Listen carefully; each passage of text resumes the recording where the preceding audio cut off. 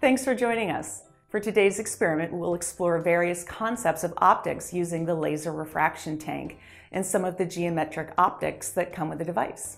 A laser refraction tank allows students to observe how light bends and travels through air into a liquid or solid and out into the air again.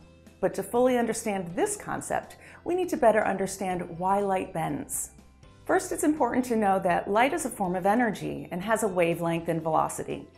In a vacuum, the speed of light is a constant, about 300 million meters per second. But when light enters a transparent medium, like water or glass, the velocity of the light beam will slow down based on the medium's density. And in order to maintain the wave integrity, the light must bend. For our first experiment, remove the dial face from the device and fill the tank with water to the horizon line. Attach the water tank back to the device, position the laser on the top half of the device, and turn it on. Do you see how the light beam bends after passing through the water? This is because the water is denser than the air, which slows down the light, causing it to bend. This change in direction is called refraction. Now, position the laser so it first passes through the water, then into the air.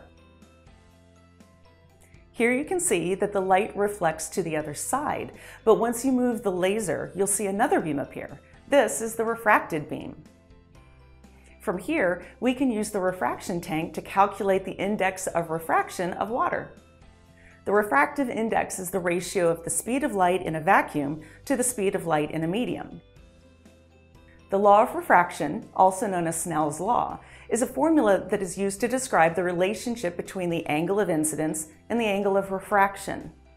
Here, N1 represents the refractive index of the first medium, water, while sine theta 1 represents the incident angle, which we measured to be 40 degrees. N2 is the index of the second medium, or air in this case, with sine theta 2 representing the angle of refraction, which is 60 degrees. Now, with this information, you'll be able to solve the Snell's law equation.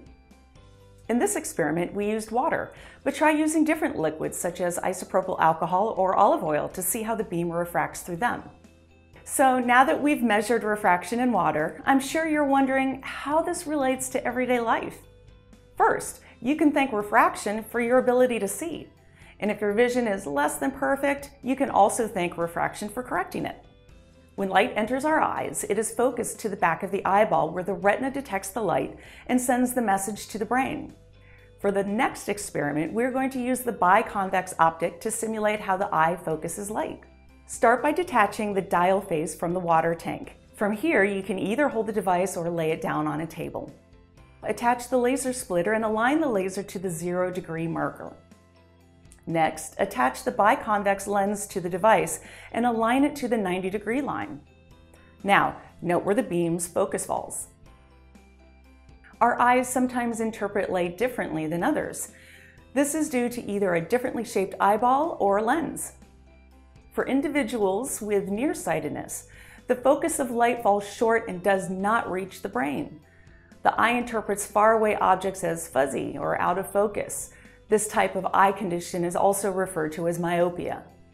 To correct the lack of focus at the retina, a concave lens can be used. To demonstrate this, place the plano concave lens in front of the biconvex lens. What sort of changes do you notice? For those with farsightedness, when light enters the eye, the focus falls beyond the eyeball and the light does not reach the retina in focus. This is often referred to as hyperopia.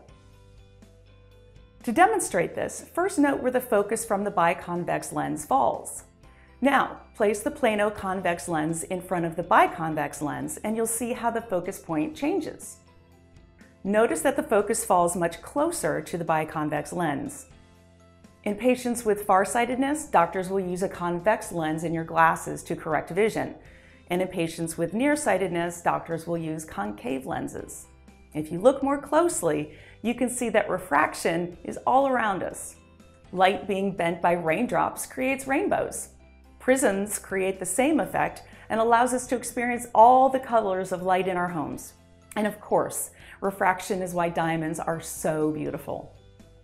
The laser refraction tank is a wonderful way to examine the effects of light on many objects. Today we touched on just a few of the many optics you can use with a refraction tank. Let us know how you're using this device in the comments below, and we'll be back in a few weeks with another video. Be sure to subscribe so you don't miss it. Until next time, have fun learning.